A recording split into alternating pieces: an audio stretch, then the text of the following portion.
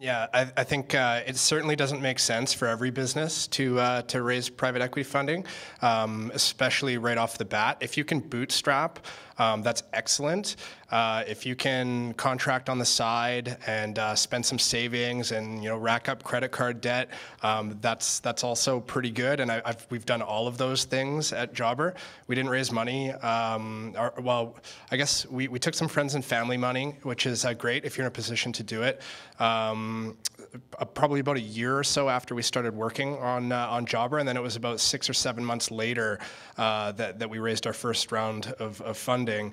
Um, and I, I, think an important point to make as well is that if you, as the entrepreneur, don't have uh, some skin in the game, you're to find it hard for to, to get investors to take you too seriously.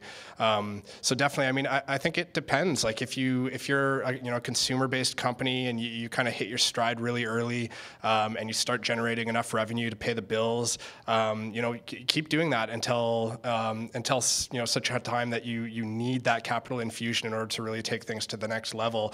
Um, by the same token, don't wait too long either. Like you need to move fast because there's other people out there doing the same same thing that you are. Like, don't think your idea is unique. Don't think it's it's awesome and it's gonna it's just gonna like take off on its own merits because there are other people out there that you're competing with doing it, and uh, you need to move fast. So um, yeah, I, I, mean, it does make sense for every business, and um, you know, I mentioned non-dilutive uh, funding options earlier. There's there's lots of that out there, uh, and that's a that's a great way to uh, to, to help fund things um, through sort of like you know the friends and family and beyond uh, level. That, what does that mean, non-dilutive? Non-dilutive uh, financing is, uh, is, is funding uh, typically backed by government um, that uh, doesn't involve taking an equity stake in your company. So um, there you know, they're, they're, they're, set up in lots of different ways. Some of them are, are set up in sort of like, a, you know, a post-revenue payback where after you're actually making money, um, you, you, you, pay it back. Some of it is just a straight up gift. Um, it's all highly controlled. If you are going to take uh, non-dilutive funding,